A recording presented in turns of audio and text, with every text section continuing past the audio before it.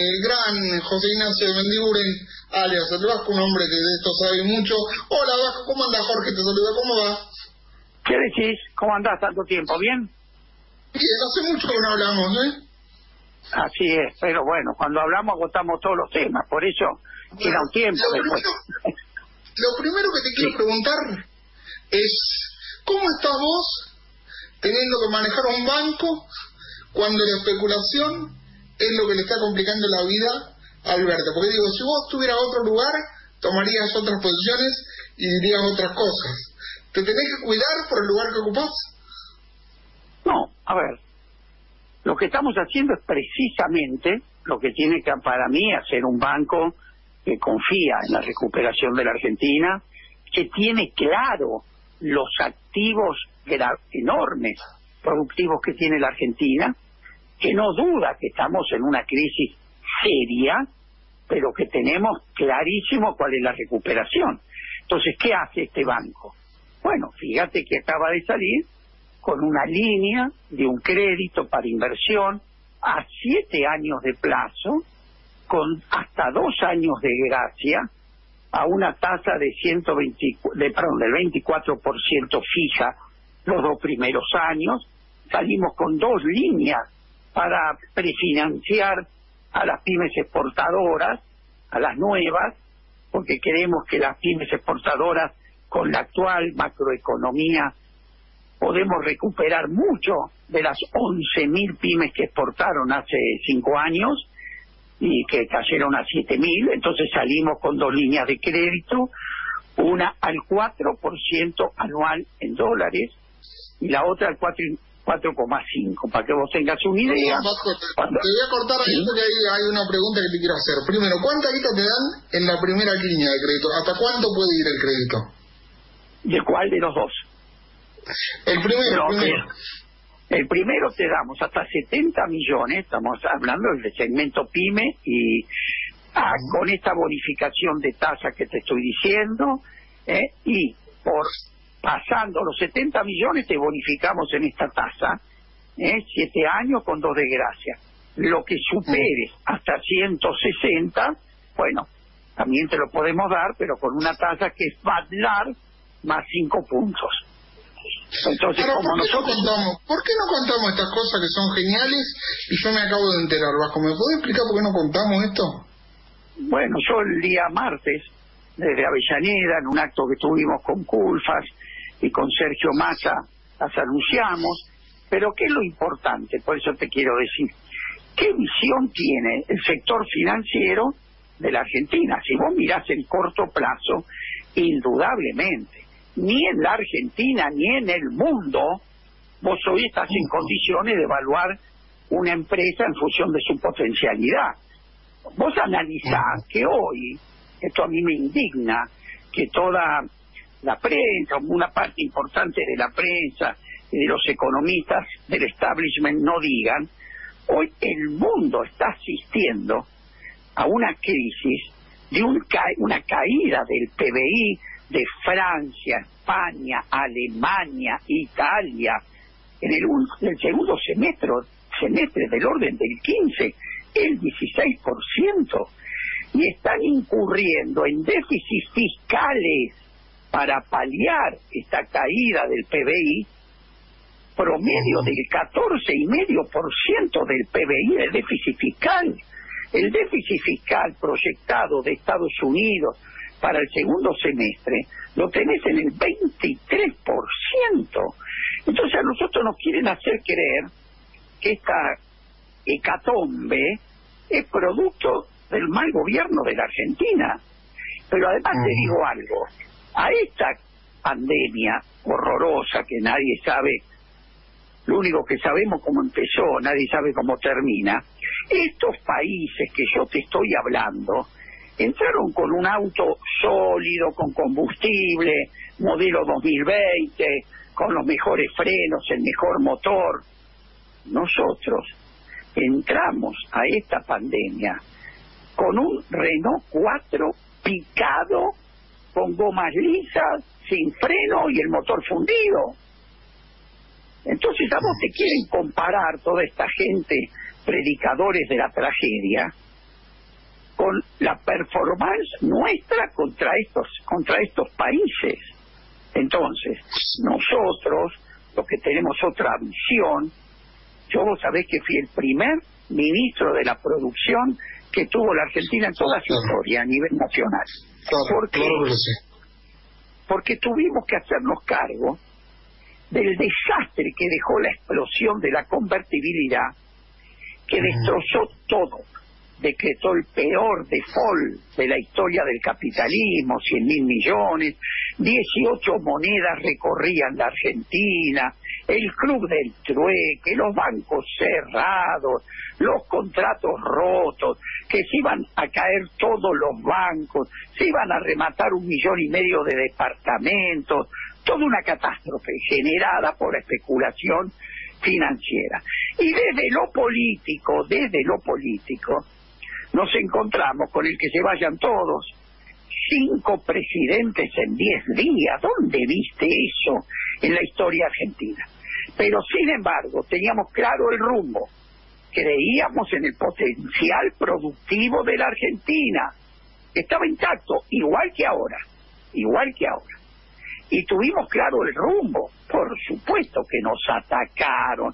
Decían lo mismo que escuchas hoy, que el dólar se iba a 30. Broda decía, con suerte va a estar en 10 mil, si no se va a 30, 10 pesos o a 30 pesos. Y sin embargo, la Argentina, cuando la pudimos estabilizar, gracias a la cantidad de emprendedurismo que hay, se puso en marcha el campo, las pymes de la industria, las pymes de los servicios, y en un solo año, que fue el año, el mismo año de la crisis, 2002, Argentina generó 17.000, 16.000 500 millones de dólares de superávit comercial. Ese gobierno de Dualde le entregó al gobierno de Kirchner un país en paz, creciendo al 7%, 3% de inflación. Es decir, la capacidad de recuperación de la Argentina con políticas macroeconómicas adecuadas y apostando al capital que los argentinos tienen. Argentina hoy está acreedor del, del mundo, no deudor. Así que por motivos de distinta naturaleza, bueno, ese capital salió del sistema, pero todavía ese argentino duerme acá, vive acá. Entonces yo estoy convencido que con un acuerdo político que vamos a llegar en algún momento, y por las mismas cosas del 2002, donde vos transformás que otra vez es posible producir en la Argentina, Argentina tiene hoy, hoy, la brecha más grande entre la Argentina real de la Argentina potencial más grande, nunca estuvo peor. ¿Qué quiere decir esto? Que tu capacidad de reacción es extraordinaria. Vos tenés hoy toda la cadena. Sí. Vasco, te pregunto para, para llevarte un poco al plano político, hablando un poco también de lo mismo, pero yendo a lo político. ¿Son capaces de intentar voltearlo al gobierno en diciembre? Viste que diciembre es una época complicada. ¿Son capaces de intentar un, directamente que se vaya Alberto? Pero, yo sinceramente me parece inimaginable porque alguna inteligencia tendrán. ¿Qué es lo que ganarían? Que o vos escuchás a la oposición, sinceramente, con todo respeto, con una sola propuesta, una sola, los colgás de las pulgares no se le cae una idea. Las únicas ideas que repiten son las que les impone la agenda este, mediática entonces vamos a hablar del tema de la justicia, el tema de lo que dice Daddy Brieva, el tema de lo... como si eso fuera lo importante para discutir hoy en la Argentina. Si la oposición tuviera una propuesta mejor a lo que el gobierno hoy está planteando en materia de asistencia al sector productivo. Mirá, yo soy industrial en Argentina hace 40 años. Nunca, nunca he visto un plan de rescate del sector público al sector privado de la magnitud que vemos hoy. Ahora, ¿qué sucede? Ante esta crisis, nada es suficiente. Pero no acá, no es suficiente en Estados Unidos, en Alemania, en Italia. Entonces, lo importante que yo juzgo es la decisión política. Escúchame, un gobierno que no tenía capacidad, un Estado, mejor dicho, de hacer políticas públicas, tuvo que salir en forma inmediata y en, y, en default, ¿no?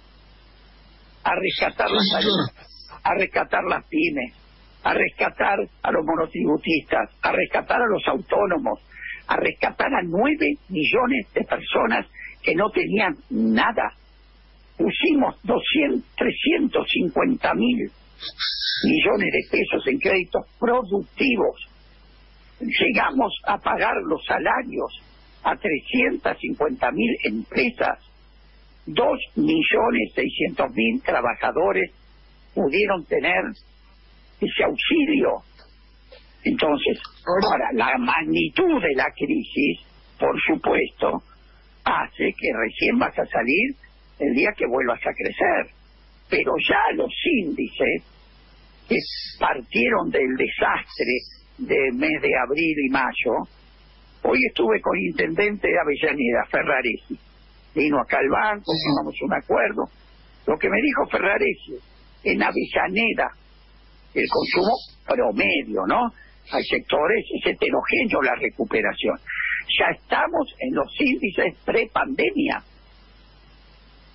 Entonces, describir esta sensación de que el dólar, de que todo se corre, me parece de una imprudencia muy grande. Yo no dudo ¿eh?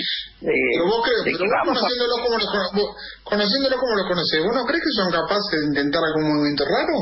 Yo no, no lo descarto, viendo la Bullrich, escuchando algunos discursos, no lo descarto. ¿eh? No, no, por eso, a ver. Vos acá tenés dos clases de políticos, ¿no? Los que no tienen ninguna responsabilidad de gobierno, los que están afuera, entonces tiran piedra todos los días, no tienen una sola idea, insisto, si vos haces pandemia, te critican la pandemia. Si levantás la pandemia, te van a criticar que no hay pandemia. Por eso no podés pensar, están en otro juego. Pero también ves una oposición que tiene responsabilidad de gobierno. ¿eh? Eh, el, el, gobernador de Jujuy eh, tuvo claro que se creyó el hombre como Uruguay, que no tenía conflictos y daban clases de, no tener el problema de la pandemia. ¿Y cómo terminó? ¿Quién fue? A ver, todos los gobernadores apoyaron las medidas de Alberto. Rodríguez Larreta, que es oposición de esta gente, o no sabe Patricia Bullrich lo que dijo la semana pasada el ministro de Salud de Rodríguez Larreta, que dijo, si no hubiéramos hecho ¿eh? toda la, la, la, la, cuarentena estaríamos en un desastre sanitario. Y sin embargo siguen hablando. ahora, te pregunto, no me confundo. Te pregunto, sí. te pregunto Vasco. Eh, ¿Vos no crees que esos que hablan, esos que no tienen responsabilidad de gobierno, pueden llevar la voz cantante dentro de un grupo de dirigentes dentro de lo que es Junto por el Cambio? Porque yo los veo con más poder que incluso el propio Rodríguez Larreta, para ponerlo en términos políticos, ¿no? Pero vos fíjate una cosa, escuchalos y decime si a alguno le escuchás una propuesta concreta. Ah, no, propuesta no tiene ninguna, eso está claro. Pero entonces, entonces es solamente un circo para tratar de sacar una ventaja electoral, cosa que me parece de una bajeza absoluta, en una situación tan difícil como la que está pasando Argentina. Mira, yo fui ministro en el 2002 de aquella crisis inédita. ¿Qué hizo la oposición, que en aquel momento era el radicalismo, que había, eh, estaba Patricia Bullrich, estaba Lombardo, Lombardi, creo, estaban todos. Bueno, hicieron estallar a la Argentina. ¿Qué hizo Raúl Alfonsín? Se hizo cargo de la responsabilidad que tenía por integrar la alianza, pero ante la crisis se juntó el radicalismo con el peronismo, vieron la magnitud del conflicto y juntos trabajaron y gobernaron. No se sacaban ventajas, sacaron al país y además se convocó al diálogo argentino. Mira qué diferencia de actitud. Los mismos que te estrellaron en diciembre del año pasado, hoy te quieren dar clases de cómo se sale de una crisis No, pero en aquel, momento, en aquel momento, en aquel momento sacando algún sector del oportunismo hacían lo mismo. Yo me acuerdo, yo ya era grande en aquel momento y te complicaron la vida también, a vos sobre todo. El tema del campo en aquel momento no, fue fácil de resolver. Pero no te quepa duda, a mí me asesinaban porque ya que yo era el culpable de la devaluación, de la especificación, Caballo perdón, que, perdón que te digo públicamente, te complico, pero es verdad, te mataron, tenés razón, hay que contarlo también, porque vos sufriste un escarnio muy duro, ahora tenés seis meses, ¿Cómo? Yo tuve seis meses sin poder salir de mi casa, ¿entendés? Me escrachaban, cacerolazos, porque cuando vos atacás los intereses profundos de los que son los de los socios del subdesarrollo, los que lucran con el subdesarrollo de la Argentina, los que quieren exportar trigo y no fideos, los que quieren llevarse la soja y no, no el biocombustible de la Argentina, cuando nos quieren proveedores de materias primas y recursos naturales, los dueños de ese negocio te asesinan. Por eso que hay que tener claro la necesidad de la unidad del campo nacional y el rumbo. Yo te vuelvo a repetir, vos podés ir y me, me junto con toda la oposición que quieras. Cuando nosotros cerrábamos 50 pymes, 40 pymes el año pasado, ¿qué nos decía el gobierno? No hay otro camino. Eso es lo único que se puede hacer. Una locura. Hoy vos te sentás con un gobierno que sabés que tenés problemas, pero todos los días ves qué más pueden hacer para que vos no cierres. Los días le decían a Avellaneda a mis colegas industriales, cierren los ojos, le decía. Piensen un minuto que era lo que nosotros pedíamos el año que viene, el año pasado cuando nos estábamos fundiendo. Pedíamos bajar la tasa de interés, la destrozamos. Pedíamos, ahora este año, ¿no? Pedíamos que nos tengan paciencia que nos saquen la mochila, porque no solamente no podíamos pagar los impuestos, sino que la AFIP nos embargaba la cuenta, ¿o no te acordás? Bueno, nos dieron la mochila, más, perdón, nos sacaron la mochila, nos dieron unos plazos que nunca tuvimos en la historia. ¿Qué pedíamos? Por favor, no nos suban las tarifas, no nos corten la luz. Hoy congelamos la tarifa y te permiten que prorrogue los pagos te puedo contar todo. Todo lo que antes pedíamos, que administren el comercio, porque nos estaban matando las importaciones. Escuchame una cosa, ni nos animábamos, ni nos animábamos a pedir que nos ayuden a pagar los salarios. Y hoy no solamente se nos dio todo eso, sino que se nos ayuda a pagar los salarios. Entonces, como industrial, por supuesto que estoy mal, que necesito, estoy mal como industrial francés, italiano, americano, como todos. Pero yo lo que noto y que tengo a alguien al lado mío que entendió que si yo me muero, ¿desde dónde va a venir la recuperación? Porque nada se construye sobre un cementerio de empresas, ¿o no? Totalmente, totalmente. ha sido, ha sido esclarecedor, Vasco. Si hay algo que no te haya preguntado y quieras decir para cerrar, pero para mí dijiste todo lo que había que decir. Y perdón si te traje un mal recuerdo, pero yo quiero ser justo con lo que vos has tenido que bancarte en la vida. No te conozco tanto, pero sí te sigo siendo peronista y habiendo vivido esa época del peronismo y sé todo lo que pusiste por eh, el campo nacional. Entonces me parece que como peronista no puedo hacer boludo y no decirlo. Disculpame si te molesté. No, todo lo contrario. Yo sufrí mucho, no te voy a negar, pero estoy muy orgulloso de lo que hicimos. Por eso que hoy voy a pelear más que nunca por esto. No puedo aceptar que haya toda una estrategia de demoler a los argentinos, de hacerte creer que no hay salida, de hacerte creer que todo el mundo se quiere ir del país, de que no tenemos recuperación.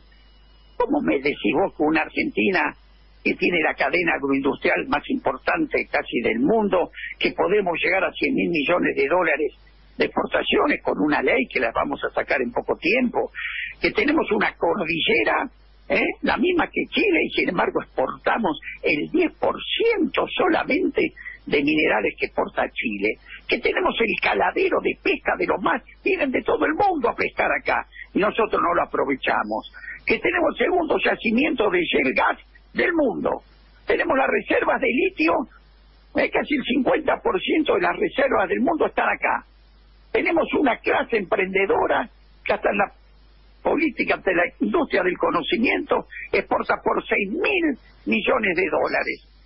Y además tenés un argentino que no voy a discutir los motivos, si estuvo bien, estuvo mal, pero que tienen un PBI entero fuera del sistema todavía viviendo acá. A mí no me cabe duda que en vez de destruirnos, de decir que no servimos, lo que tenemos que hacer con grandeza es ordenar estos recursos clarísimos para salir rápido de esta crisis. Bueno, Vasco, te mando un abrazo enorme, te quiero mucho, te agradezco que estés siempre que te necesitamos, nunca cambiaste y eso solo voy a valorar toda mi vida. Gracias por estar ahí. Abrazo grande. Un fuerte abrazo, hasta luego.